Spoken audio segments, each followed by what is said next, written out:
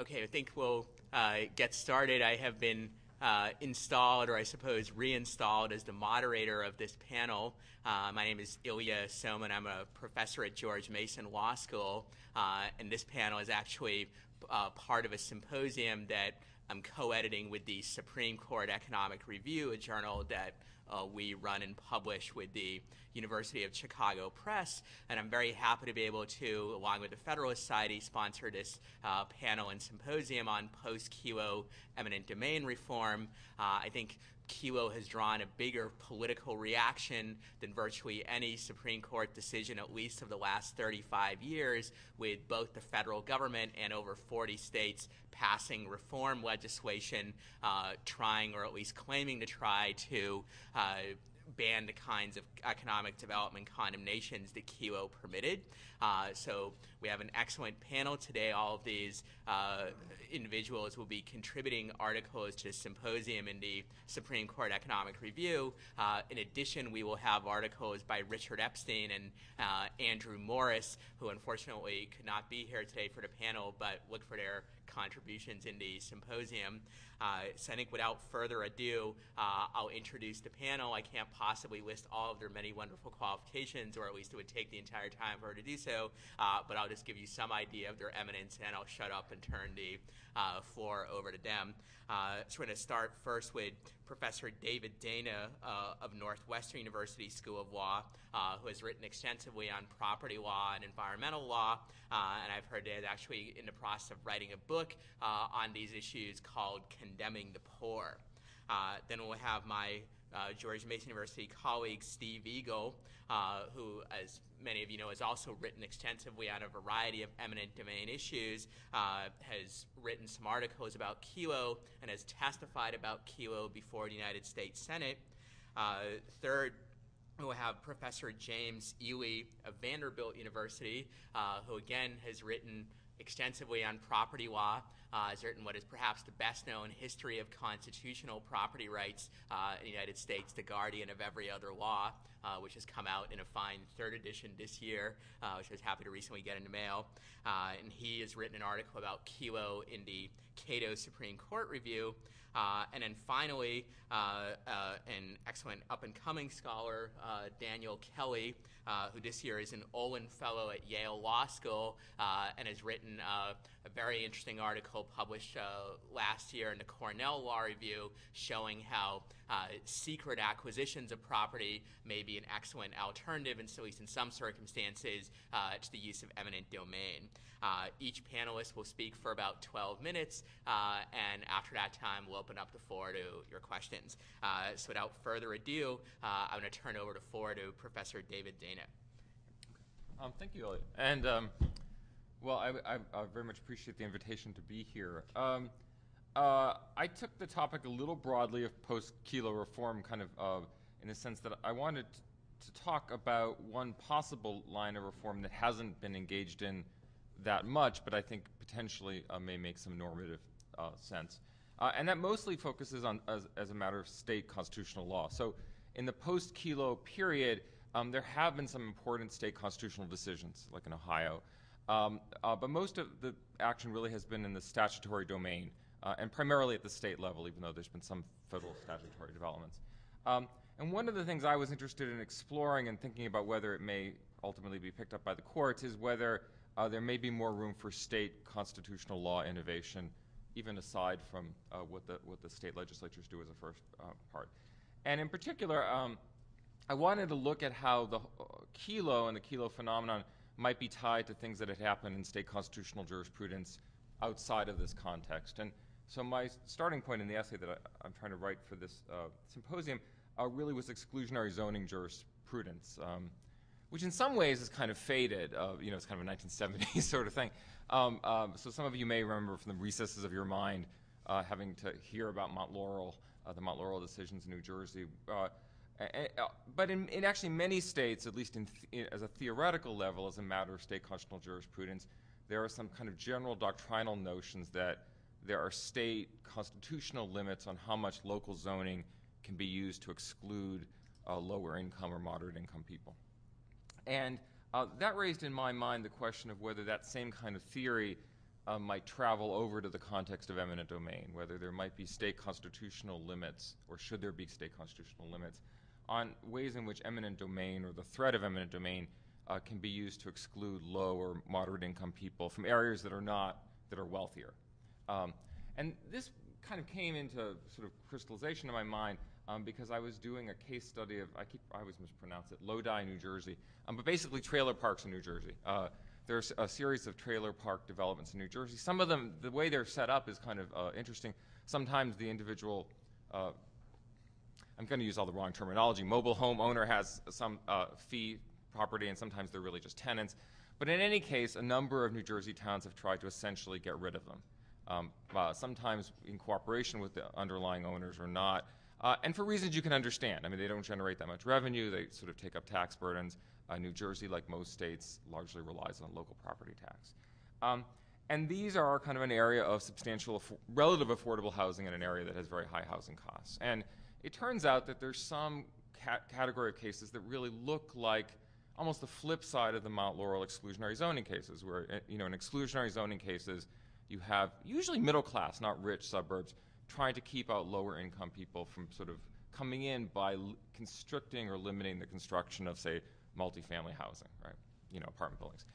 And in what I'm going to call exclusionary eminent domain context, you have suburban towns, usually again middle class towns, not what really rich towns, trying to get rid of essentially lower income housing uh, through the use of eminent domain or the threat of eminent domain. Um, and they both have effects on the composition of the housing stock. You know, they both increase concentrations of wealth. They both tend to disperse lower income people who may get concentrated elsewhere. And so some of the same concerns and arguments that might inform exclusionary zoning doctrine could be used in this context. And actually, in, in the New Jersey case, um, the uh, New Jersey Public Advocate's Office, which I found out still exists, um, which actually uh, brought them out more or less, uh, brought the Mount Laurel cases, um, uh, did kind of make this argument in a sense in a brief in, in some of the litigation in, in, Lodi, but it wasn't really picked up that some kind of exclusionary zoning flip could be used as a constitutional argument against eminent domain in certain contexts. Um, the other context where it seems to come up is in urban gentrification, uh, kind of looking at Atlantic Yards or some of the other big projects um, uh, around the country. You have contexts where you have neighborhoods that are fast gentrifying or areas that are already substantially gentrified where some of the remaining uh, residents are lower income, and eminent domain seems to be, in a sense, kind of pushing gentrification, creating more economic segregation. The question there is whether some kind of analog to exclusionary zoning could also be used as a kind of state. Again, it would really have to be a state constitutional law constraint on eminent domain. So the purpose of the essay or the paper is to kind of explore that idea. Um, would this be a good theory? Uh, would there be a kind of normative basis for it? What kind of uh, practical problems would there be? Um, I don't really um, make the argument that any court's going to pick it up, you know, any day. Although I suppose if any court were going to pick it up, uh, most likely it would be the New York or New Jersey uh. Um, so uh, part of the argument is, is going through how would you structure an exclusionary eminent domain doctrine. Um, you know, would you look at fair share allocations? Would you set up rebuttable presumptions? And, and what would it do? I mean, the basic argument is it would do two things. One, if there's some kind of constitutional constraint about condemning lower income housing in wealthier towns, it'll tend to push condemnations or development away from replacing that housing. Um, that you know it, will raise the cost for the town for, for developers uh, to focusing on those targets that are otherwise very attractive because typically politically and economically uh, they're more they're, they're, less trouble to, to get rid of. Uh, it also may just translate into more compensation for both absentee landlords and low income owners. Um, so it, uh, it will have, if, if this were adopted, this kind of constitutional constraint, it wouldn't necessarily end any development, um, but it might change patterns of development somewhat, uh, and it might also result in more compensation uh, if you kind of try to model economically, at least in some cases. And so part of the paper, um, in deference to Ilya, I asked Ilya, you know, for the Supreme Court economic review, how much economics does it have to have? Um, so there's a little part of it that, that, that purports to be economics um, that you can try to sort of figure out when would you get more compensation effects and when would you get more displacement effects. Um, a lot of the paper is really trying to argue about is this a good idea? I mean, is there a normative rationale for trying to have this constitutional doctrine? And, and I think there are really two different rationales. One of them is pretty familiar to the debate that the people on this panel have talked about. One isn't. One has to do with subjective value of property. Um, you know, one critique of the just compensation formula that everyone's familiar with is it doesn't capture subjective value people have in their homes. Um, you know, you get fair market value, uh, fair market value before development. That you know, if you've been living somewhere a long time, um, you know, Mrs. Kelo was very attached to her house, clearly, right? It, you know, she had more value than the fair market value.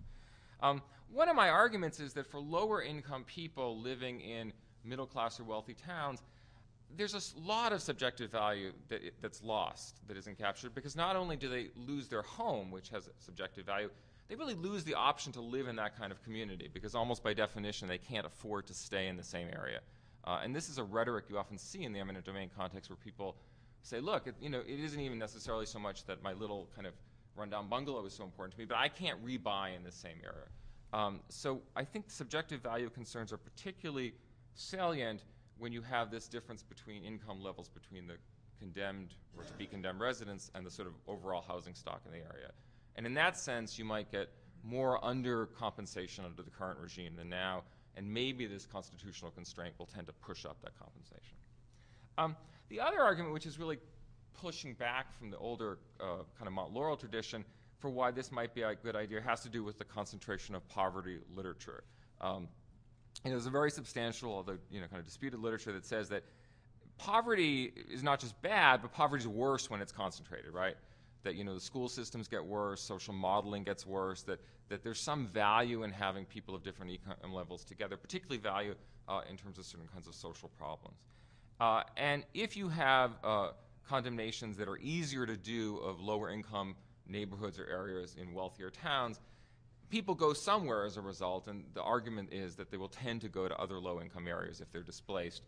And that may increase these concentration of poverty effects, uh, these kind of disparities in, in, in, in schooling, uh, that depending on how you view it, may actually have a social cost on their own. So it's really two separate rationales for this sort of constitutional um, doctrine. How am I doing on time? Are you the timekeeper? You still have uh, about a minute or two. Okay. So anyway, there are lots and lots of objections to this. One is, will anyone ever do this? will any court ever buy into this? Um, one, you know, one objection is, what should be courts to be doing this sort of thing at all? Um, the exclusionary zoning cases got a lot of critique because they're kind of an activist court uh, thing, and, and, I think that's a real legitimate question. Um, I, I, do think that if this theory were out there, it wouldn't actually be deployed that much because, of course, zone, exclu- all zoning is exclusionary. So if you say, well, we're going to police for exclusionary zoning, you're kind of having the courts take over the world. Um, but eminent domain is a relatively thinner practice, and so I think these kind of cases are fewer. Um, I also think that because this doctrine would be tied to state public use clauses, you could cabinet. I mean, one problem with exclusionary zoning doctrine is it created heightened review, but it was unclear how you would ever limit it because it was based on really substantive due process notions that had no boundaries. This would really be tied into a kind of a public use tradition. Um, and I think that uh, the, uh, one other argument against it that I explore is whether towns just would be less willing to accept low or moderate income housing in the first place if they think it's harder for them to deploy eminent domain down the road. And I think that's a real argument. Um, the question is how strategic we really think local regulators are. Um, so anyway, this is an area of reform that is um, I guess the purpose of this essay would be to kind of put it on the table, maybe, um, because it hasn't been central to the kind of Kelo, uh, post-Kelo debate. Uh, I believe we're going in alphabetical order, so next is uh, Professor Steve Eagle. Uh, take it away, Steve. Uh, thank you, Ilya. Uh, my paper is on Kelo, directed growth, and municipal industrial policy.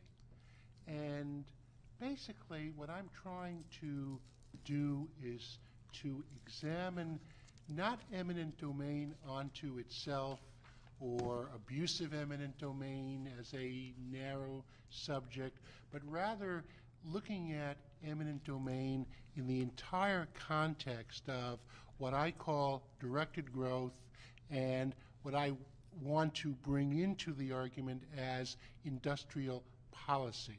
By directed growth, I'm referring to both a combination of smart growth, as we understand it, as telling people what kinds of areas to, to live in, but also the notion that government is going to use uh, fiscal as well as legislative policies and a whole array, array of tools to affirmatively entice and cause growth of special kinds to occur in special areas, i.e., the equivalent of the five year plan or the 10 year plan. You know, the, the LSE uh, uh, hegemony in India may be past, but certainly it isn't in the cities of the United States. And so I'm going to look at Kelo as it pertains to that, which, which uh, leads me to start with the story of uh, Dr. Bob Siskovic, who is a research scientist who was one of the team that originally invented Lipitor, which is the, has been the most successful drug in the United States in terms of, uh, of uh, revenues, and who was head of a major pharmaceutical laboratory. Anyway, the company he worked for closed his very large laboratory, put Dr. Cieslik and about 2,000 colleagues out of work. And this laboratory was in Ann Arbor, Michigan. Uh, the state of Michigan and the city of Ann Arbor, uh, for whom this lab was the uh, greatest uh, taxpayer, the University of Michigan, alas, not being on the tax rolls, uh, got together and developed a kitty of millions of dollars to try to entice new growth and to try to find some kind of work for the PhD uh, uh, chemists, including Dr. Cieslik, who lost their jobs as a result of the closing. Well, the company that engaged in the closing fired about half the staff, but transferred the other half of the staff to its other major research facility, which it was uh, uh, had built as a biologically based, instead of a chemically based pharmaceutical research facility. And this facility was in New London, Connecticut. And, well, you know the rest of the story. Uh, as uh, the uh, city of Ann Arbor and the state of Michigan are pouring millions of dollars in to try to find jobs for Dr. Cieslik and the other people who were displaced as a result of the closing. Millions of dollars was offered by the state of Connecticut and the city of New London to entice the company, uh, Pfizer, uh, to build its uh, world headquarters and to have nearby amenities in New London. So the winners and the losers are practicing what I would call industrial policy. Some successful in this round, some not. Perhaps ultimately it's a zero sum game. Uh, certainly it was uh, a loss to some of the people in New London, not the least of which for our purposes was uh, Susette Kelo. Uh, the tools that municipalities have available are a vast array. They include condemnation, but I think of condemnation as basically a last resort and an implicit threat more than the reality that, that mostly motivates what's, what's actually going on. Uh, traditional land use regulation, which is not traditional at all in the sense that the original Euclidean zoning, which allowed narrowly defined land use, but as a matter of right, was replaced by all kinds of devices like cluster zoning and plan unit uh, uh, development and uh, planned communities, which enable a wide array of uses to be engaged in, but at the price of municipalities having discretion. And that municipal discretion, of course, led to impact fees, linkage fees, uh, fees, and the notion now is that private land is in play. Private land is available for local government to shape the destiny of the community, not as the traditional zoning would have it to protect the public health, safety, and welfare in general terms, but rather to custom tailor the kind of growth that the community wants. The community, of course, also would do this through direct subsidies and through implicit subsidies uh, like, ta like tax increment financing, which means that the tax revenues which otherwise would have inured to the city's uh, police, education, fire, and other divisions as a result of a project now get diverted into creating the project itself, which is to say the project is basically tax-free as a subsidy, as a tax expenditure for the, uh, for the owners. Uh, you, and, and then, of course, you have regulatory property, which is what I would call transferable development rights, which is where the city is giving or selling to A the right to develop B's land by, by giving A certain uh, credits that could be transferred to the other parcels. So all of these things are going on. And uh, uh, the Supreme Court has not done a better job resolving many of them than it has resolving the takings issue, which we're most familiar with. For instance, uh, the Supreme Court has been fairly good under the Dormant Commerce Clause in, in, uh, in trying to uh, prevent uh, state discrimination against out-of-state businesses, but yet uh, the court uh, certainly has not contested that direct subsidies to the home team, to in-state competitors, have exactly the same economic effect, and the states and the Supreme Court uh, in the uh, West Lynn Creamery case in 1994 adamantly simply refused to take that question up. So the Supreme Court has left unresolved the whole question as to, to the extent to which local and state governments can use uh, the taxing power and the spending power as a way of reshaping land use. I have no doubt that as a result of the Kelo case, is going to be politically unpropitious and to a certain extent legislatively difficult to have the kinds of, of grabs from uh, small homeowners such as Mrs. Kelo and her neighbors to use for large industrial projects. I am not sanguine, however, about the extent to which that, that this is going to have a practical effect on preventing the kind of development where, that I'm talking about, largely because a few years ago in a uh, uh, uh, David Osborne and Ted Gaebler invented the marvelous phrase in the uh, uh, early 1990s that uh, government should steer and not row. Government should steer growth and private industry should do the heavy lifting of keeping the thing going. And that's what Pfizer is supposedly doing in, uh, in New London. I say supposedly because, uh, in fact, the project is having, still having immense financing difficulties and has just gotten another reprieve a few weeks ago. And uh, whether the Pfizer, whether the, the New London uh, project adjoining Pfizer ever will be built at all is something that uh, I think is still conjectural. So we have this overall notion then of where does takings fit in in, in the overall industrial policy scheme of things. Uh, the policing mechanism that the Supreme Court ultimately set up in Kelo makes very little sense to me. To put it in uh, Justice Kennedy's words in his concurrence, the, a court applying rational basis review under the Public Use Clause should strike down a taking that by a clear showing is intended to favor a particular private party with only incidental or pretextual public benefits. And with due respect, I have no idea what that means. Take the 99 cent stores case, which is a case that Justice Stevens cited as a situation where the courts can police things. 99 cent stores was a uh, uh, small big box chain in California. Uh, uh, it had a store in Lancaster. The Costco stores, which is a much larger big box chain and which was the linchpin of industrial redevelopment in the city of Lancaster, told the city, we want the, cost, we want the 99 cent store parcel for ourselves.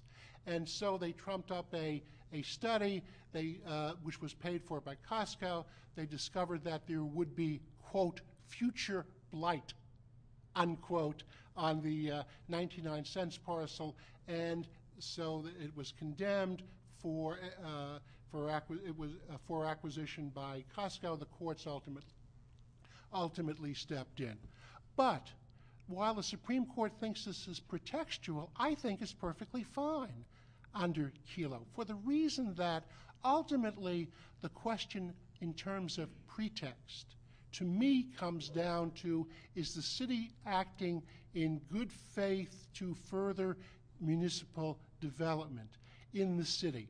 In the 99 cent stores case, for instance, there was absolutely no showing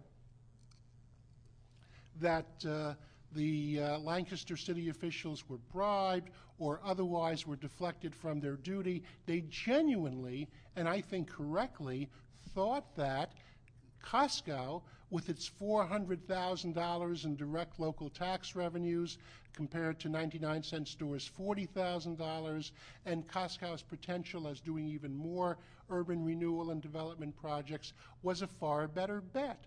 That doesn't, to me, differentiate the situation from any, uh, any of the condemnations of certain parcels in New London, leaving other parcels like the uh, Dramatic Club, which was the Democratic headquarters, and more upscale kinds of condominiums out of the condemnation, simply because it was more practical to do it that way. In other words, if the touchstone is going to be pretext, the answer has to be if the city honestly thinks it's doing the best to redevelop the city, and that's really why it's doing it. The notion of pretext uh, makes no sense. The city, and ra- rather than the company, is being benefited. So, putting all these tools together, then, and looking at eminent domain within the wider project of industrial policy is the part of the uh, problem of Kelo and, the, and that I'm going to be working on and have started working on, and I see Kelo as only a small part of the larger problem. Uh, oh, next is uh, Professor Jim Ely of Vanderbilt University. Thank you, Ilya. Uh, I'm going to focus uh, essentially on the reaction, public, legislative, judicial, uh, to Kelo. Uh, I should note at the outset that our moderator has written extensively and very perceptively uh, on this topic, and although my conclusions have been informed by his work, I, I reached a slightly more optimistic uh, conclusion than I think Ilya ha- has reached. Um, it perhaps um, Uh, signaled by my title, Post Kelo Reform, is the glass half full or half empty? It's rare that a Supreme Court decision especially one involving the rights of property owners, arouses the furor that greeted Kelo. Some scholars, as we know, purported to be surprised by the intense public reaction. After all, we were told, the justices were simply following precedent. Such a myopic assessment is, in my view, uh, sadly wide of the mark. Kelo represented a novel and expansive affirmation of eminent domain power. For the first time, the court put its seal of approval on the condemnation of residences for transfer to private developers for the purpose of promoting economic growth. Further, the factual circumstances of Kelo were very different from those earlier cases cited by the court. The Kelo majority relied on language plucked from context, and disregarded cautionary words in prior decisions. What clearly hit the public nerve, however, was the fact that average homeowners understood that they could be adversely affected by the aggressive use of eminent domain power. The open ended language of the court could render virtually every piece of property subject to an economic development taking a point driven home by both Justices O'Connor and Thomas in their dissents. But there's no use crying over spilt milk. My thoughts about Kelo have been expressed elsewhere. The crucial inquiry now is whether the negative public reaction has produced any results that will meaningfully rein in the free-wheeling use of eminent domain power sustained by Kelo. Admittedly, the picture is incomplete and it's constantly shifting. But the conclusion at this point is, I think, decidedly mixed. As I see it, there is no realistic prospect for any move to curb economic development takings at the federal level. The Supreme Court is unlikely to revisit this issue for some years. Moreover, two of the dissenting justices in Kelo have left the bench, and it is uncertain how their replacements would vote in a future public use case. Federal appellate courts have treated Kelo as virtually foreclosing any room for a public use challenge. This was even true in a recent case in Port Chester, New York, in which the evidence suggested that eminent domain was being used for the purpose of financial extortion. Nor can one look to Congress for relief. True, the House of Representatives, uh, by a wide margin, passed a resolution in 2005 expressing its disapproval of Kelo. But talk is cheap. Proposals to bar federal funds to support the exercise of eminent domain for private economic development purposes have floundered and not, I think, proved effective.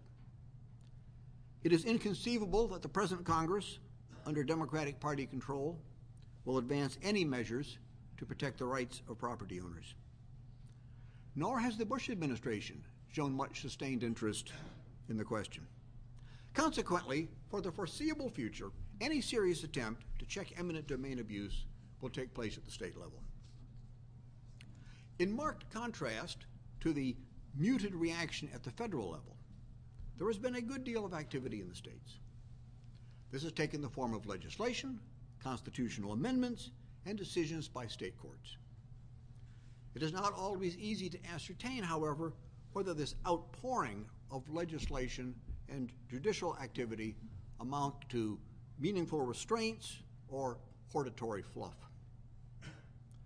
By one estimate, 42 states have enacted new laws aimed at preventing Kelo type takings. Now, uh, unless the new math has changed this, that means that eight states, including such uh, jurisdictions as Massachusetts, New Jersey, and New York, have not enacted any laws restraining the use of eminent domain. Among the 42 jurisdictions that have passed such laws, the efficacy of these measures varies widely. Some appear to constitute genuine reform, while others afford virtually no additional protection for property owners.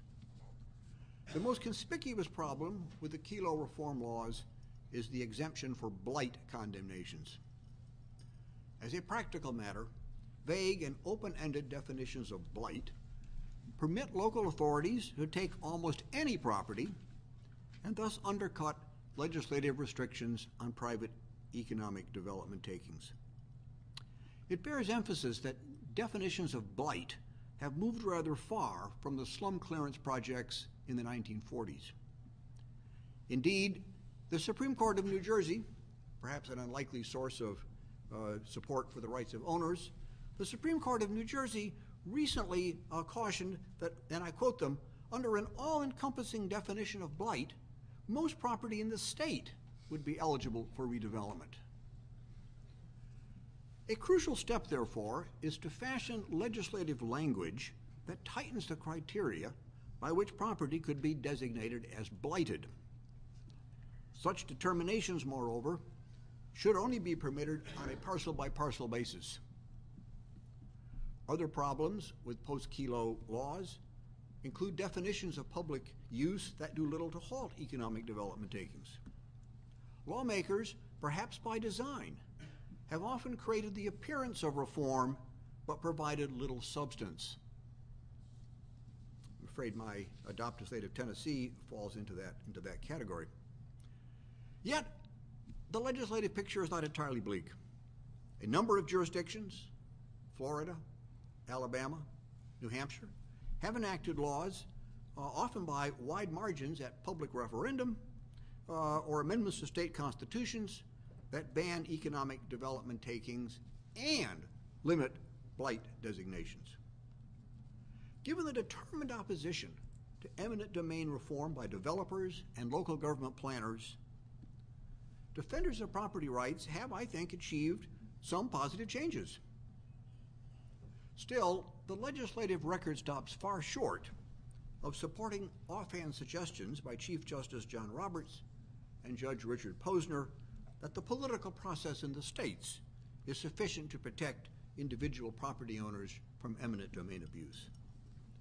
It also begs the question, which I think well warrants further scholarly exploration, of why the public use requirement, practically alone among the provisions of the Bill of Rights, is relegated to the political arena. Decisions by state Supreme Courts have been more promising. Even before Kelo, several state Supreme Courts had struck down exercises of eminent domain for economic development purposes by private parties. A milestone in this regard, of course, was the decision by the Michigan Supreme Court in overturning the highly controversial Poletown decision. This trend toward greater scrutiny of economic development takings by state courts continued following Kelo. As has already been mentioned, two state Supreme Courts, Ohio and Oklahoma, have specifically repudiated the reasoning in Kelo and construed their own state constitutions to afford greater protection against eminent domain. Other state courts, although less direct in rejecting Kelo, have also demonstrated renewed skepticism about the use of eminent domain for economic development purposes. Few examples must suffice. The Maryland Court of Appeals invalidated a quick take condemnation because the city failed to demonstrate the need for immediate possession of the land at issue. The court ruled that mere assertions about urban renewal were not sufficient to justify the abridgment of a property owner's rights to procedural due process by the use of the extreme power of quick take condemnation. For, moreover, and I think even more potentially more significant, the court maintained that in the last analysis, whether a particular taking was for public use was a matter for judicial determination. Another revealing case, I've already made reference to this, decided by the Supreme Court of New Jersey, uh, upended an effort by a town to condemn 63 acres of vacant wetlands as an area in need of redevelopment pursuant to a statute which authorized the taking of blighted areas. This is deliciously ironic, of course, because the effort by the community to take wetlands, undeveloped wetlands, seemed to run directly counter to interest in environmental uh, regulation to protect wetlands. The town was basically seeking to label conservation land as blighted because it wasn't being used for its full economic potential. You sort of have the impression someone should call the office and see whether we're doing economic development or, or environmental protection this day. Um, but in any event, the Supreme Court of New Jersey uh, struck that down. I think a further evidence, at least, of some judicial skepticism at the state level. So, where does this record leave us? Several points warrant emphasis. One, certainly much of the legislative and judicial response to Kelo has stopped short of categorically barring eminent development takings. Most of the po- post Kelo legislation is flawed, but I think it is important not to abandon the drive for legislative relief. Experience in some jurisdictions shows it can be done. It's too early to abandon hope for meaningful legislative action, and in some jurisdictions, follow up legislation has in fact significantly improved the immediate post Kelo response. Second, constitutional challenges to eminent domain are most likely to find success in state courts, where judges are free to invoke state constitutional law. This inevitably means there will be a wide disparity among the states with respect to the protection afforded individuals from eminent domain abuse. Third, it is important to keep in mind the reality of the situation on the ground.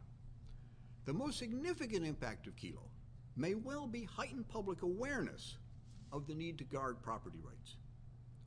Additional study is surely needed, but the public outcry may have manifested itself in the abandonment of projects that were going to rely on eminent domain and in larger jury awards in condemnation cases. Judge Learned Hand warned a generation ago about undue reliance on lawmakers and judges to preserve our rights. I think we should perhaps take his, his warning uh, to heart. A welcome, if unintended, consequence of Kelo has been to restore the rights of property owners to public dialogue. This may well, in the long run, yield salutary results. For my money, I think the reform glass is half full, and there is potential to inch upwards. Thank you. And last but uh, not least, of course, uh, Daniel Kelly, Olin Fellow at Yale Law School. As has been mentioned, the reaction to the Kelo decision has been not only unprecedented, but also multifaceted. Uh, in addition to over 80% of the states passing legislation in response to the case, you've also had such reactions as BB&T, the financial holdings company, which is one of the uh, 10 largest in the country, uh, saying that they will not finance any projects that use eminent domain. And you even had the case of a group trying to take Justice Souter's residence in New Hampshire on the basis that it would be better used as a Lost Liberty Hotel than its current use. What has been, uh, everybody has basically agreed, though, that the majority opinion in Kelo was the one because they said that economic development takings do constitute a public use, that that's been less protective of property, and that the dissenters generally were more protective of property. What I want to examine today is actually a situation in which it might be argued that the majority actually was more protective of property rights, specifically pretextual takings. So, what did the court say about pretextual takings? Justice Stevens said, Nor would the city be allowed to take property under the mere pretext of a public purpose when its actual purpose was to bestow a private benefit. In the case, though, obviously there were some allegations that a pretext was occurring. Not only did you have Pfizer, a private party, who would benefit very much from the project, you also had the developer, Corcoran Jennison, who could receive a benefit. Despite this fact, Justice Stevens and the majority said, no, here there is no pretextual taking. And they pointed to a couple different reasons. One, the fact that there'd be a carefully uh, considered development plan. And two, they argued that the private parties were not identifiable at the time of the taking. Justice Kennedy, in concurrence, also picked up on this theme of pretext, argued that if the taking was in fact pretextual, that that would be unconstitutional. And he noted that there may, in fact, be transfers in which the risk of undetected uh, impermissible favoritism is so acute that a presumption of invalidity is warranted.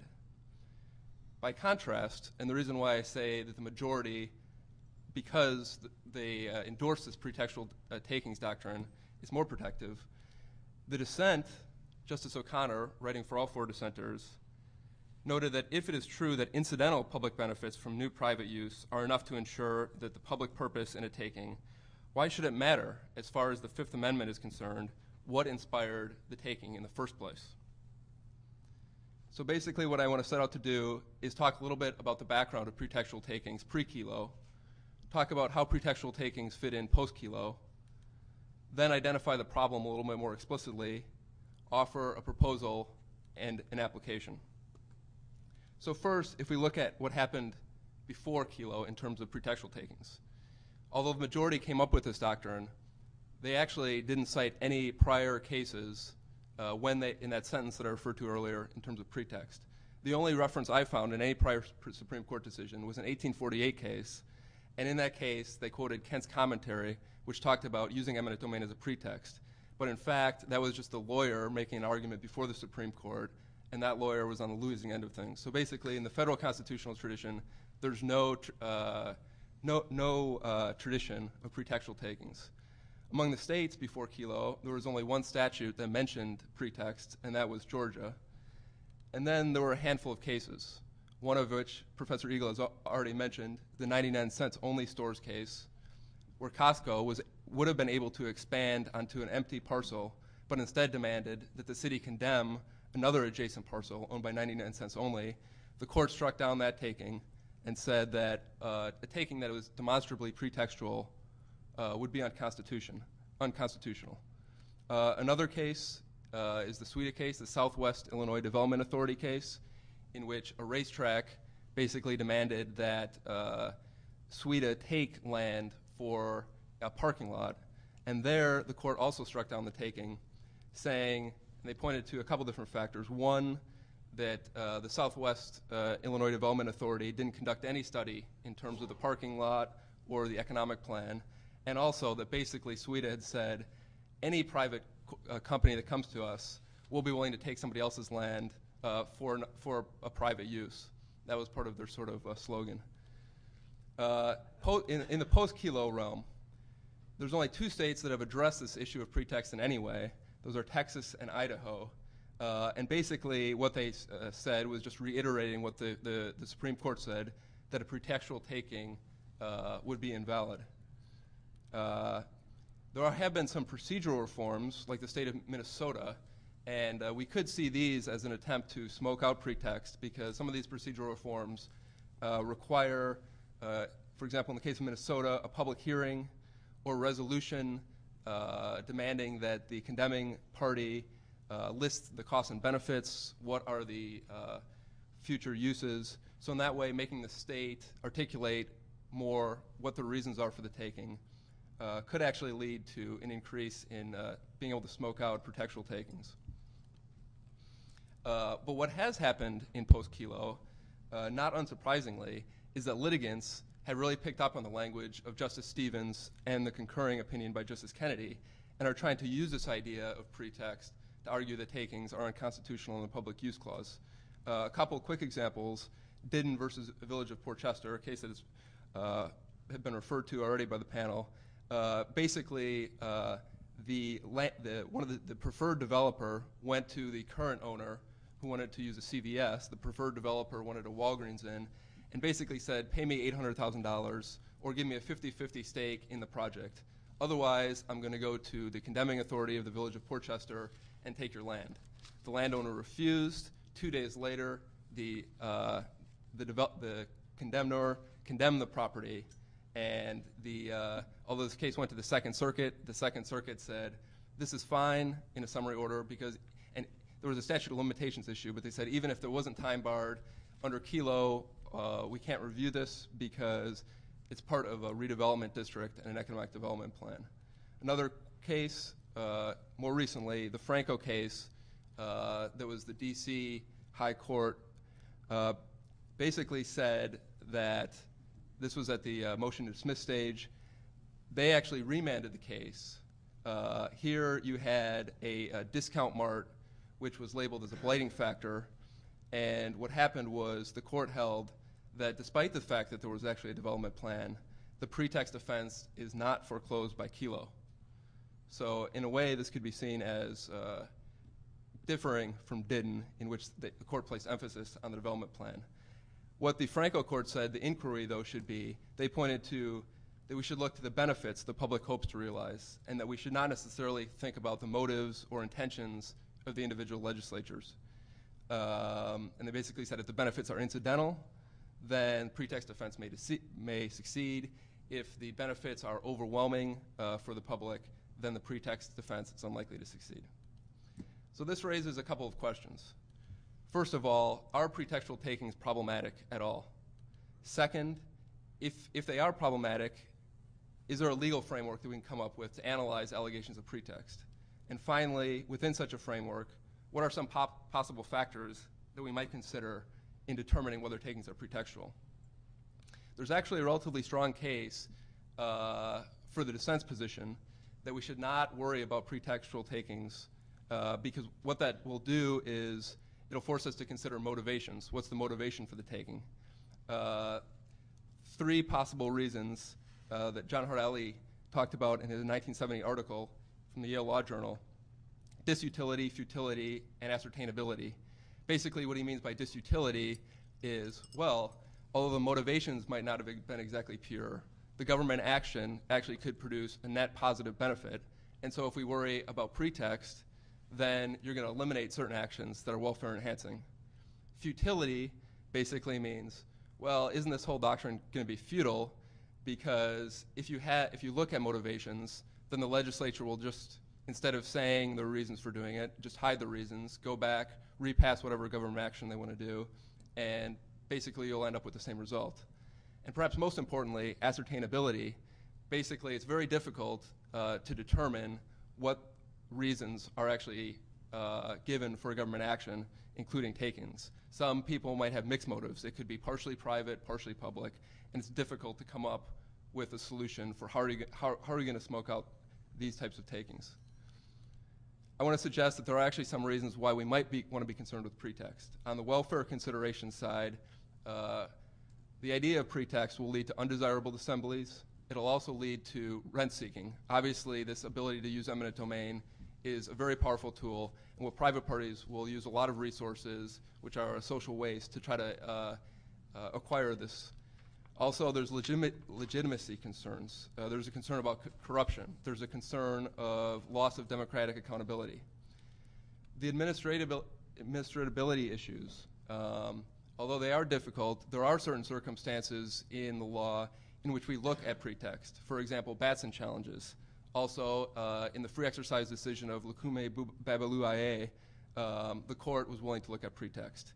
In one instance in which pretext, the court has said we're not going to go down that road, the Whren decision for pretextual stops, the court was actually explicit in noting that although the prior pretext cases, we said we're not going to look at pretext, um, the reason we're doing that is not only or principally because of the difficulty of establishing sub- subjective intent. intent. So here's a proposal for potentially dealing with pretext. In other areas of the law, we see that in Title VII, there's actually already a framework established.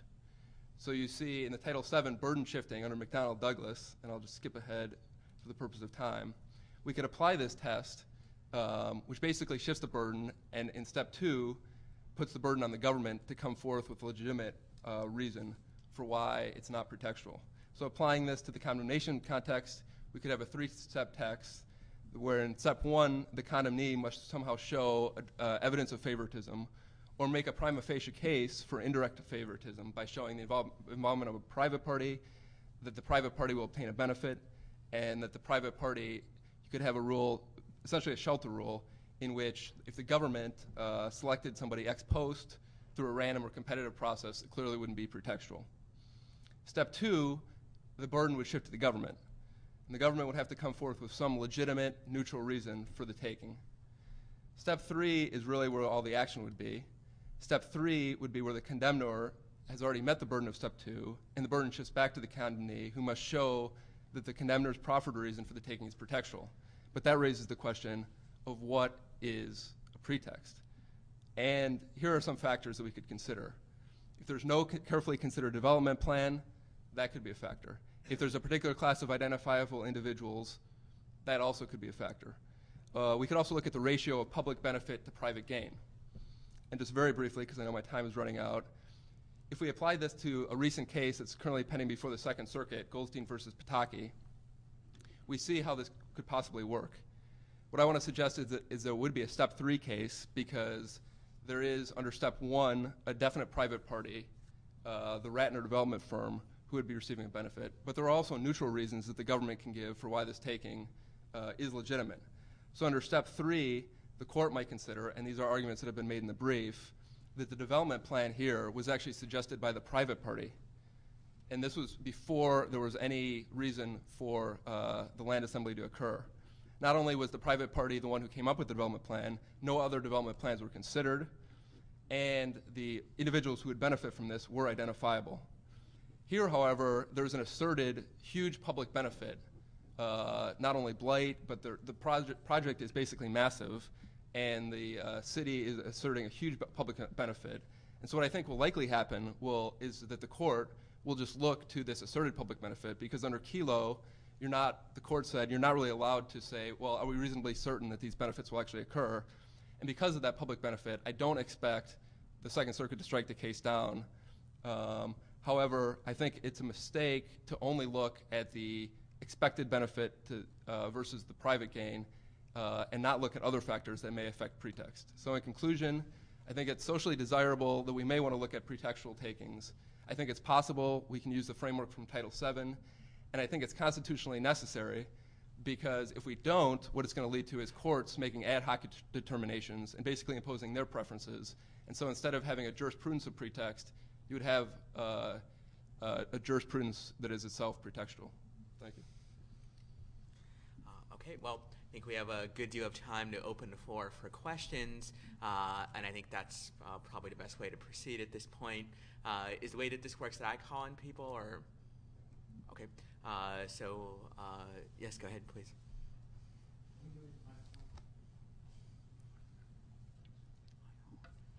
Rob Natelson, University of Montana. There's a, in constitutional law, as you probably know, a long history of examining uh, legislative pretexts, whenever you're in heightened scrutiny. Um, my, my question has to do with um, the pretextual comments by Justice Stevens and the concurrence by Justice Kennedy.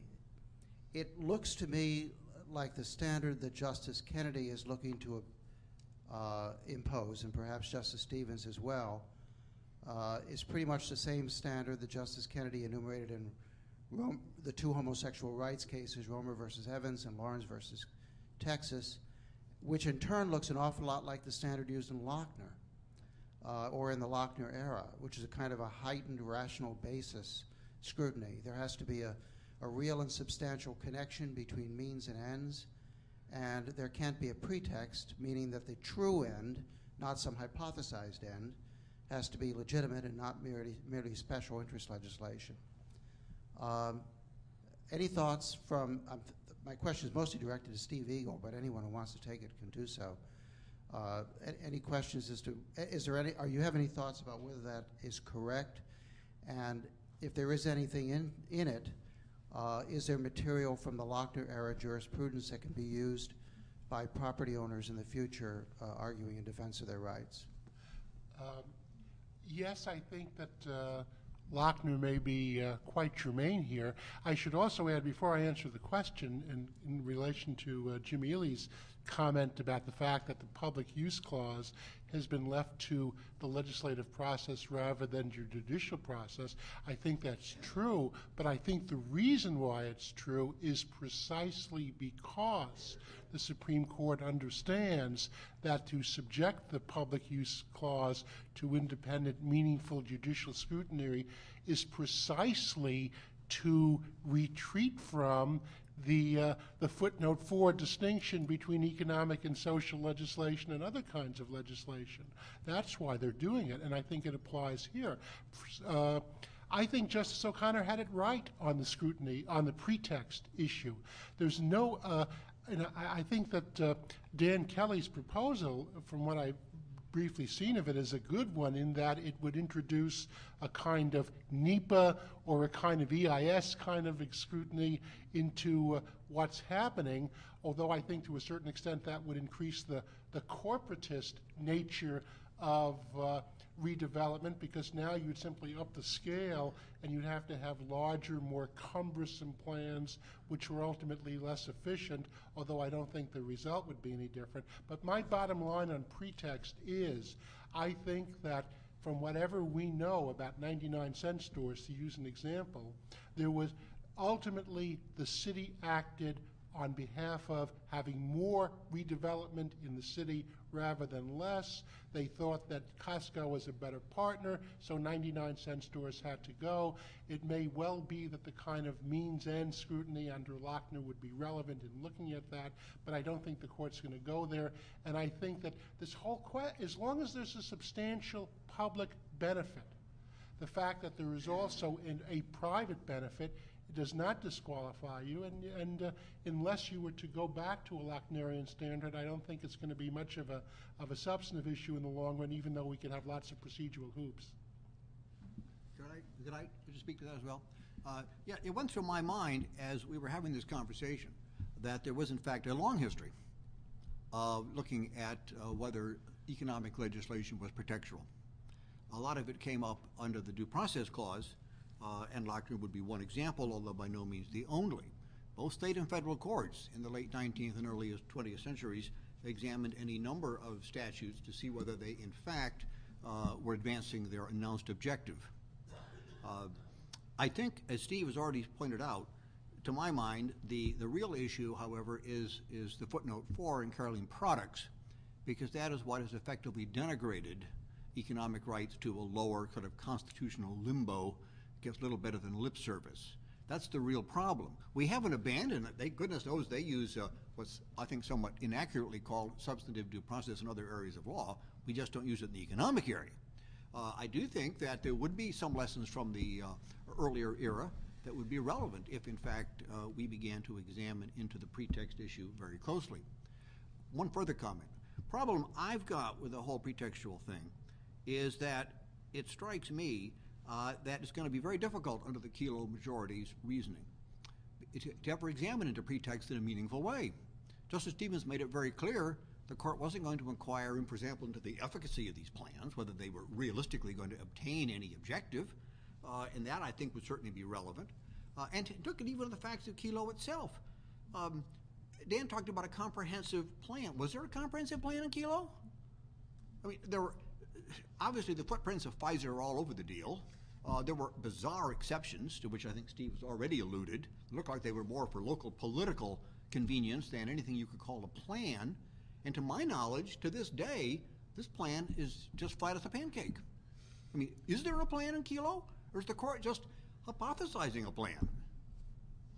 Just very quick comment on the, on the footnote four What? issue. Yeah. The big difference here is that footnote four has not prevented the Supreme Court from applying a moderately elevated standard of review in contracts clause cases, for example, because the contracts clause is a specific constitutional provision um, and it's more defensible than in due process, the pr- process area.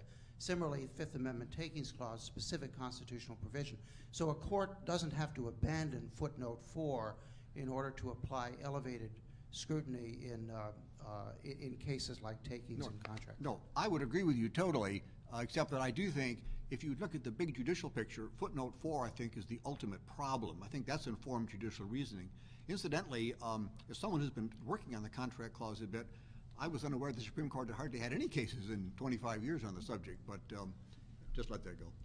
Just, just uh, one extremely small comment on the subject. Uh, uh, uh, the Didden versus Village of Port Chester case has already been alluded to as a, uh, an important post-Kelo pretext case. Uh, Richard Epstein and I, uh, Richard also as part of his symposium and not the panel, we uh, wrote a, a, a short piece about this in a national law journal earlier this year. Uh, I think the crucial question here is on the one hand, as Dan mentioned, the Kelo case says that pretextual takings are still forbidden, but on the other hand, it says that if a taking is part of a redevelopment plan, which virtually all takings, by the way, are, at least all economic development and blight takings, then that kind of taking is virtually immunized from challenge. So the difficult question is how can these two things be reconciled? On the one hand, there is a very high level of deference to the planning process, even like in the Kelo case itself, where the plan uh, was probably extremely poorly put together. But on the other hand, there's this assurance that pretextual takings are forbidden. So the difficult question is uh, how are these two things to, to be reconciled? Uh, and you know, Richard and I talked about this a little bit in the National Law Journal piece, but of course, the we haven't exhausted the question by by any means. Uh, so that said, we'll uh, move on to other questions. And I saw a couple of hands up. Uh, I'm not sure who is first. So I guess I'll uh, first call in the, uh, the gentleman in the back. just for informational purposes, in the field of state constitutional law, the most recent survey article by James Kirby, which is fairly uh, indicates that in the states, substantive due, economic substantive due process is, as uh, they say at certain law schools, the majority rule. Uh, and that includes some industrial states like the one uh, that I teach in Pennsylvania.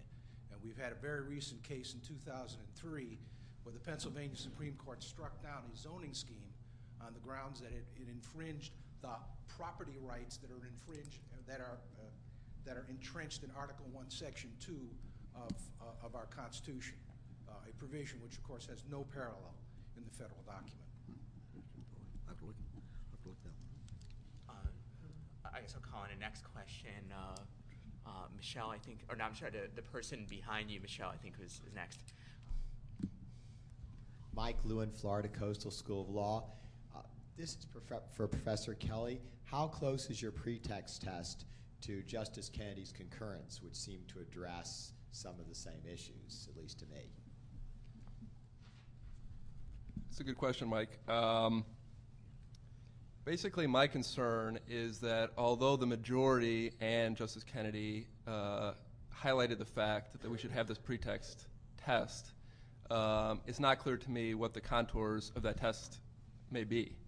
And so, what I think, if we are in this uh, post Kelo world in which pretext is going to be important, I think it's important to develop uh, standards for what it should be. Now, as Ilya said, one of the things they did refer to is this idea of having a comprehensive development plan.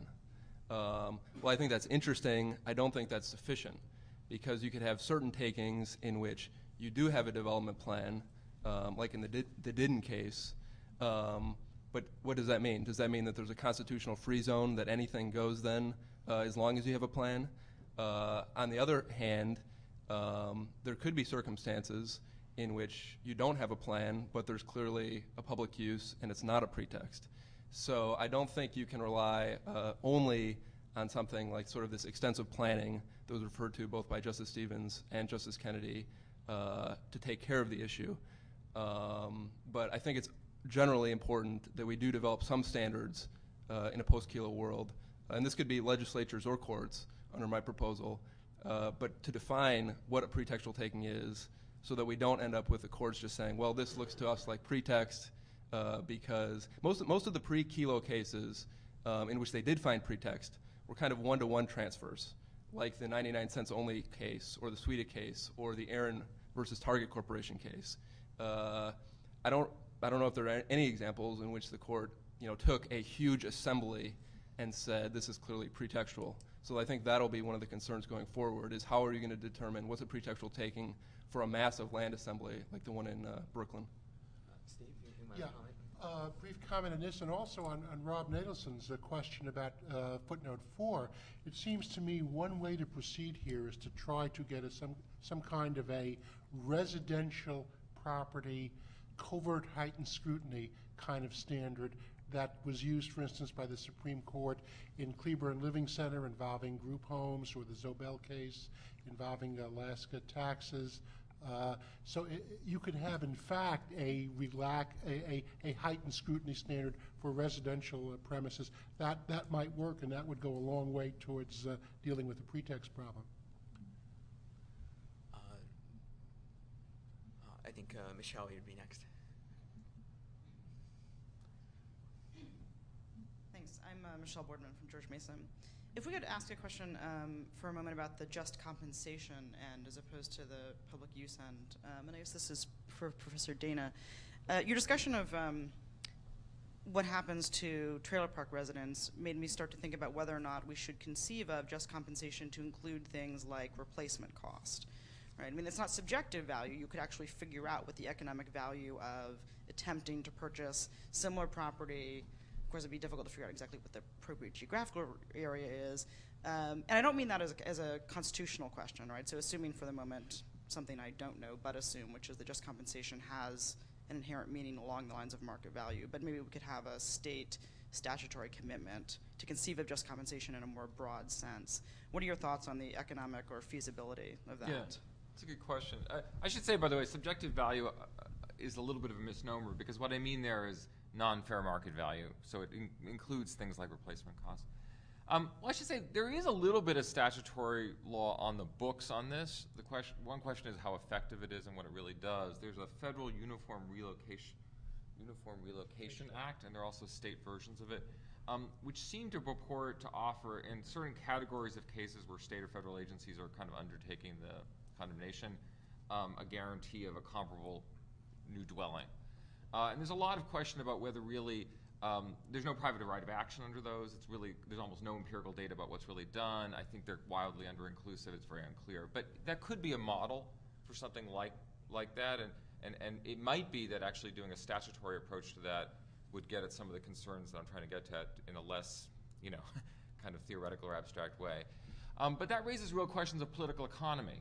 Um, uh, because uh, if the groups protected would largely be tenants or low-income tenants, would you see any kind of legislation, you know, along those lines? I mean, you know, in a way, it's amazing that there's legislation at all post-Kelo, because if you look at kind of standard political economy, public choice thinking, you really wouldn't think there'd be much at all.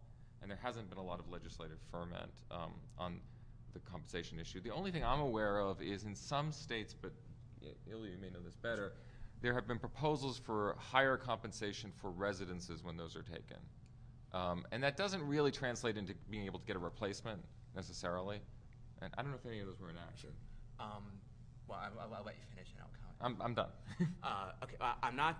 I'm not aware of anything that's been acted post Kelo on this, there is an article by Nicole Garnett in last year in the Michigan Law Review where she discusses much a, a great deal of prior state and federal legislation, which in some cases does give people more compensation and fair market value. Uh, but to make a long story short, uh, I would say two things about it. One is I'm skeptical that in many cases it really does fully compensate even for relocation and replacement costs. And indeed, there's a lot of surveys of people displaced in uh, urban renewal and blight takings and the like, which suggest that overall, even after being compensated, uh, they were worse off than before. Uh, so uh, while there's while it's a little bit more than what the federal courts require, it's still maybe less than full compensation. And second, uh, to some extent, second, what uh, David said, which is that uh, to the extent that these are relatively politically weak people who are being displaced, in many cases also poor people, it's unlikely that states would enact legislation to, in fact, redistribute money from politically more powerful and wealthier people to give it to these uh, people. Uh, now, David also said, well, why would then legislation be passed at all? That's a, a question that obviously Jim is uh, addressing in his article, and I've addressed in a paper of mine. What I say in my paper is a lot of the strong legislation has been enacted has actually been enacted in states which uh, which rarely, if ever, engage in these kinds of economic development takings to begin with. So, for instance, the state of South Dakota has a very strong law which they enact, and I commend them for it. I do. It's a good law, but how many economic development takings did they have in the last five or seven years? Zero, right? So uh, certainly you can enact strong legislation if uh, what you're restricting is things that you haven't really been doing anyway. Uh, there are a few states like Florida and others which did enact strong legislation even though they had been doing a lot of these things. I'm certainly not suggesting it's all a sham, uh, but I think that uh, if you look at the states who enacted strong legislation, the majority of them are these ones that rarely did these things to begin with and only a relatively small number of states have enacted strong legislation, particularly in the area of blight and protecting the poor, uh, where they really did uh, do a lot of these sorts of activity to begin with. Uh, so I think I've uh, abused my moderator's privilege enough, and uh, I'll be quiet and let Jim speak. just wanted to pursue this just compensation for a moment. There is, of course, a vast literature that just compensation as presently determined falls far short of putting people back in the position that they would be. It falls far short of Blackstone's idea of an exact equivalent. Be that as it may, uh, and while I think a good argument could be made that we should give higher than market value to persons whose property is taken across the board, across the board, to compensate for uh, subjective values, relocation costs, loss of neighborhood identity, et cetera, uh, while I think a good case can be made across the board, I'm very skeptical about the literature, which seems to suggest that if we get heightened compensation, that would somehow adjust for any kind of uh, review under the public use clause. I don't believe at the end of the day that that will be as protective of the rights of owners as uh, the proponents uh, uh, contend. And I've argued the same thing in an article of mine, but uh, I'll, I'll, move on to the next yes, um, we'll question. Um, uh, yes, you've been waiting for, for a while. Please go ahead. I'm uh, Nadia Nedzel. I'm, uh, I'm sorry, can you wait for the microphone? Certainly. I'm Nadia Nedzel. I'm from uh, Louisiana, and I actually have two questions that I think are, are a um, are joint are joint. Um, they both relate to a tremendous skepticism I've developed over the last couple of years about the efficacy of government in general, uh, having been through Katrina. And the first is uh, when it comes to economic takings, has there been any systematic study that these plans are typically effective or more effective than a simple market remedy? I'm thinking of Berman, which was a failure to begin with, followed by Town. There have been other anecdotal instances where a public taking related to some sort of plan flopped um, in comparison to something like, I think, downtown Chicago, which was a market redevelopment of the Loop area. Um, so that's one question. So before we even get to pretext, uh, I wonder if there's any fundamental justification for an economic taking um, that has any likelihood of success long term. Uh, since I'm a non planner, I guess that puts me in the non planner category from New Orleans. The other issue that we have in New Orleans is that post Katrina, there are some horrific problems. Um, we have such a morass of succession issues that knowing who owned, who actually owned a specific property that is now more than blighted, is next to impossible. Consequently, I think that lately the, the, the worst case scenario has been the, the, the outpouring of, of uh, former uh, public housing proponents who want the St. Bernard housing projects to be re- redeveloped, rebuilt, and those were horrible.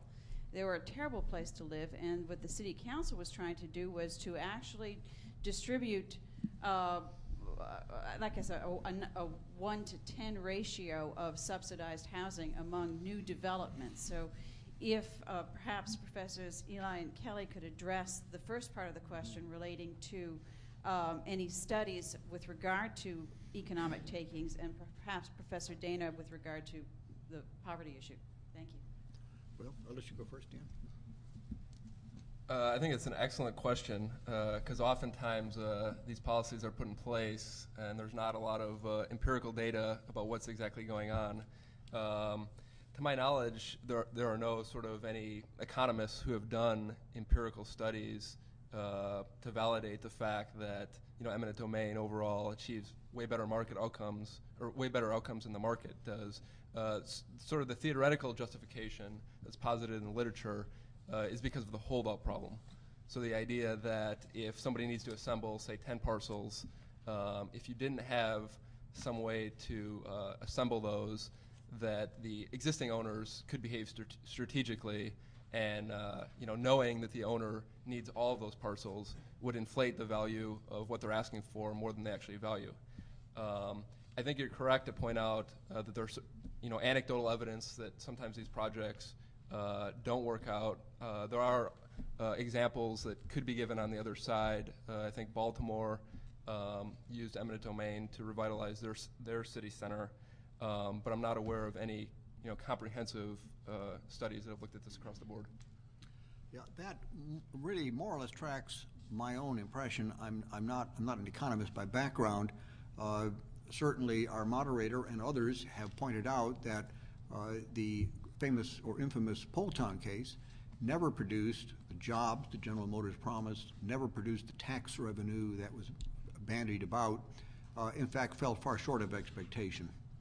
Uh, I, I have a sense that may have been true with some other grandiose projects as well. Of course, that doesn't mean that private projects might not also fail. I don't know about your community, but uh, Nashville, my adopted home, has a number of white elephant malls that never seem to quite take off uh, and are now basically uh, quasi shut. Uh, but in any event, um, uh, my sense is that it's a very mixed bag. Uh, the Baltimore example is an interesting one because I've actually talked to people a bit about the, Baltimore harbors, but I think they, they revitalized. Uh, my sense is they were able to acquire actually a lot of the parcels from the voluntary, the voluntary market, uh, but that they did in fact have to resort to at least uh, threat of eminent domain to acquire some, some, some holdout situation. So I think it was partly market driven, partly uh, have use of, of coercive power to achieve that result. Uh, uh, how it's worked across the board in other communities, I just can't say. Perhaps someone in the audience would have experiences they could share.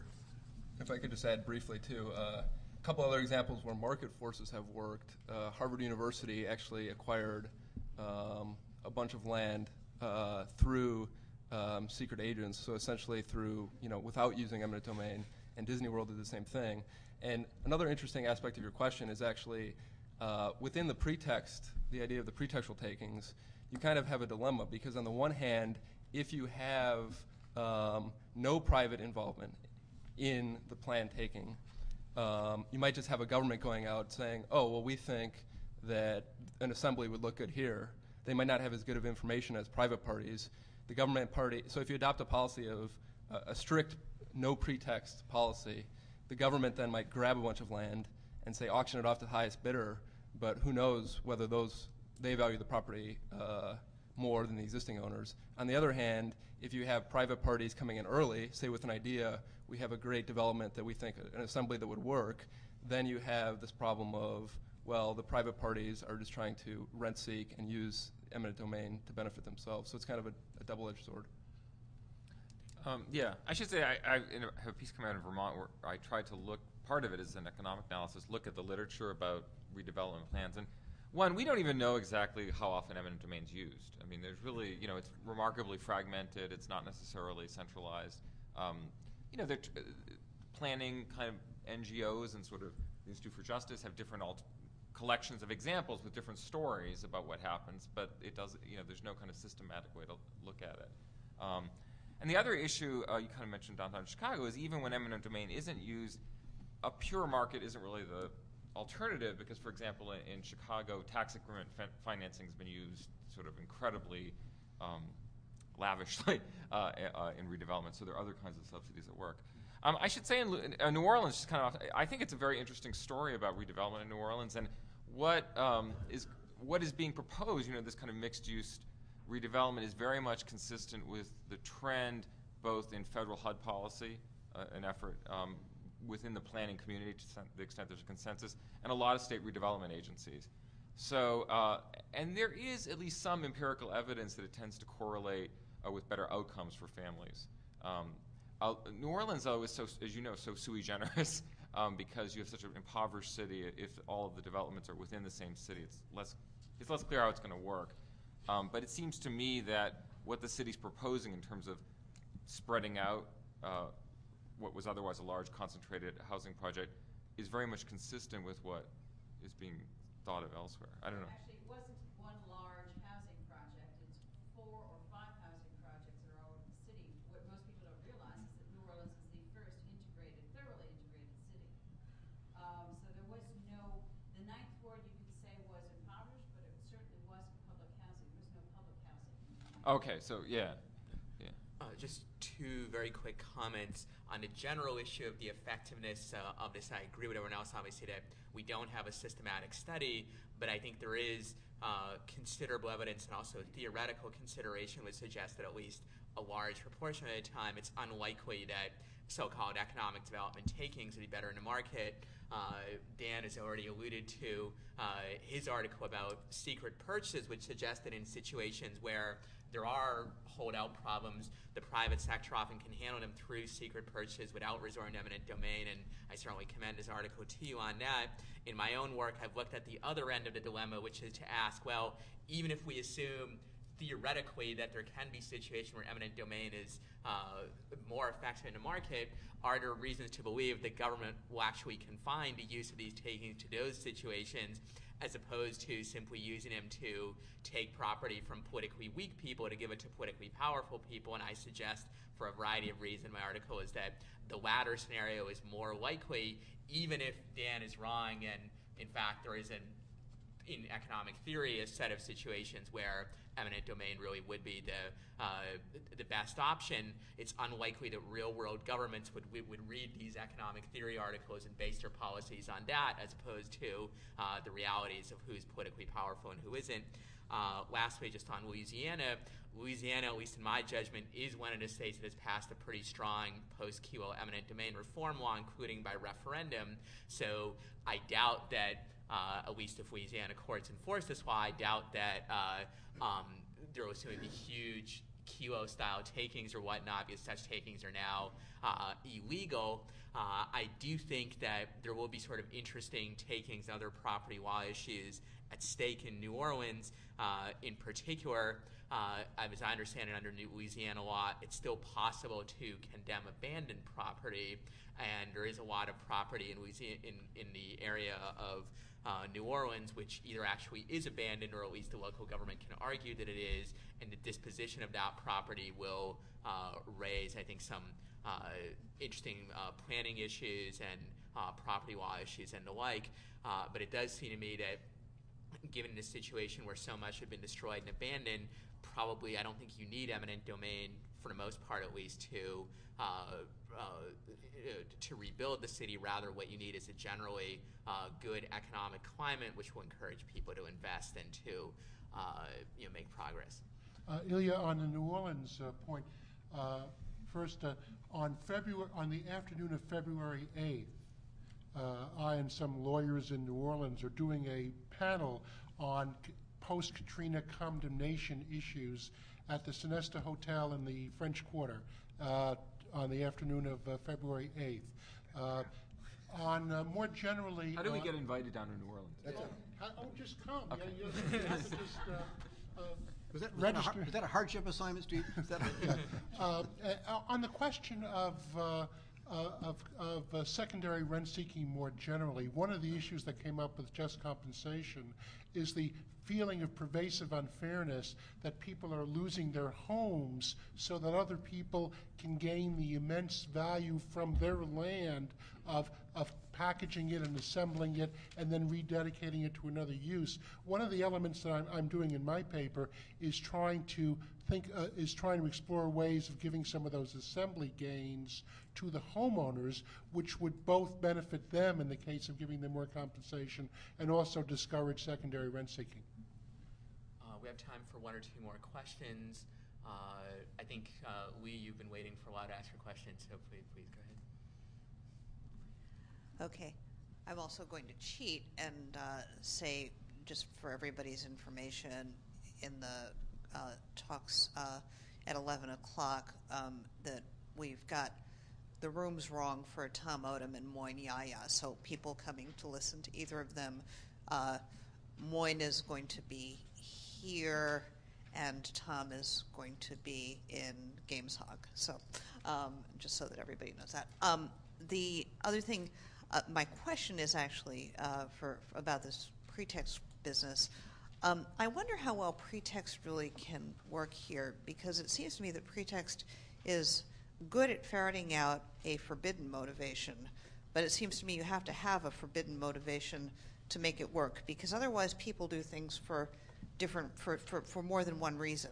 Um, and i i therefore, I, I, I don't know what work pretext can really, really do here, since it's pretty likely that there will be an arguable case uh, for the taking, um, uh, being for economic development purposes, as well as for whatever, for, for, as well as for whatever the private purpose is.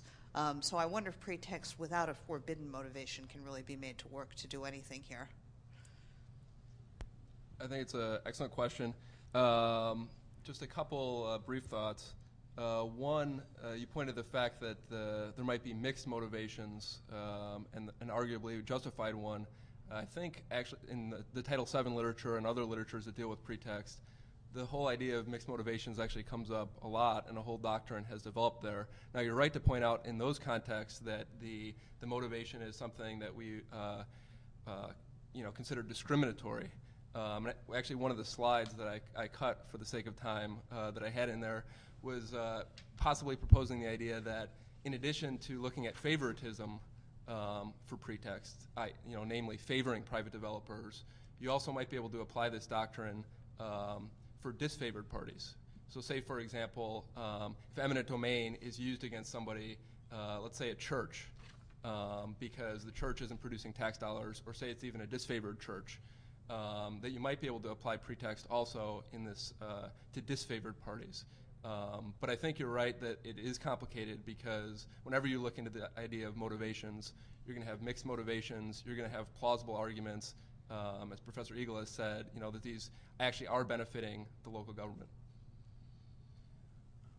Yeah, I've actually made a similar argument to one that you made in a piece I published last year where I said that pretext scrutiny can only have a limited role precisely because uh, there tend to be mixed motives and also because people rarely say to themselves, well, I'm doing this you know, just to screw over the general public for the benefit of General Motors or Pfizer or you know, what have you. Most people tend to persuade themselves that what's in their political interest also uh, benefits the general public. However, I reserve the right to modify my judgment somewhat after I fully study Dan's interesting proposal. So, uh, perhaps, and obviously, this is something that's been debated in other areas of constitutional law where we do have pretext scrutiny, such as in the race area and the religion area. So, uh, I, I wouldn't say that it's completely useless. I would just say that uh, maybe it has limited utility, uh, and maybe Dan's article will show it has greater utility than, than I think. Right. I guess the, the way it works in the religious uh, area and in the discrimination area is you're, you're trying to figure out is somebody doing something for a particular bad reason, and if he's doing it for any in any part for that particular bad reason, it's going to be bad. Um, whereas here, um, you can't say just because there's some private benefit, uh, there's also a bad reason. That so I think it it, it, it may just the, the analysis may just not work, carry over very well. Uh, maybe I guess we, I, I, I to discuss at length, but I think we'll move to another, uh, uh, uh, the last one or two questions that we have time for. Uh, so maybe two more. Uh, uh, uh, g- gentleman in the back over here. Uh, Keith Sharfman from uh, Marquette. I just wanted to follow up on Michelle Boardman's question earlier about the uh, market value standard for compensation. Um, isn't one problem with a market value standard uh, that the government can uh, manipulate the market value by uh, an- announcing that, that they're planning to do a taking and talking down the value of the property so that by the time they do the taking, it's uh, the market value has moved in response uh, to not not to any inherent market force, but but because of the government's uh, manipulation of the market value, or by taking adjacent properties, nearby properties. Uh, those other takings wouldn't be relevant, would they, in the valuation of the particular property uh, in dispute, and yet uh, they they might have an effect of manipulating the market value uh, uh, uh, downward. And then the last uh, point I would make is, suppose you sell, you know, the government talks announces they might be doing a taking or will be do, taking it, and then you sell the property. Does the taking claim run with the land, or how does it work? I mean, do you do you does the buyer have the taking claim, or does the seller get to make a taking claim even after they've sold the property? I can answer those both really quickly. The first concept is called condemnation blight. It is strictly illegal. The landowner will win. All the landowner has to do is prove it, which is almost impossible. on the second, on the on the uh, on the second point again was. Uh, Well, there are two points. One is government manipulation. yeah, yeah, that was the first one. Let's, second point is, the second one is, who has the takings claim? Oh, the takings claim, the takings claim belongs to, the, the compensation goes to the person who owned the property at the time of the, co- of the condemnation. And, and even after they sell it, they still have the claim? Uh, At the time of the condemnation, if they sell it later, after the formal condemnation, they still get it. At, at the time of the condemnation, uh, action is, at the time of the actual condemnation, is the person who gets the, the proceeds. There is a contrary phenomenon, though. You know, once it's clear that an assembly is going on and there's a project in the works, at least arguably fair market values go up.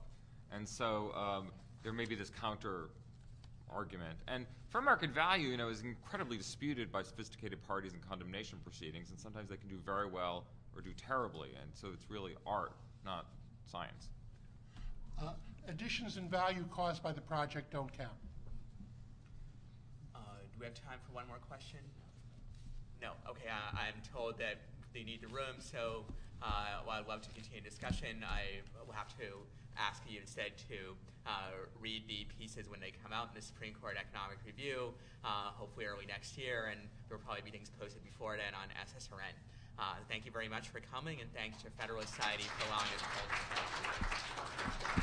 Well, I enjoyed your comments. The whole meeting was very nice.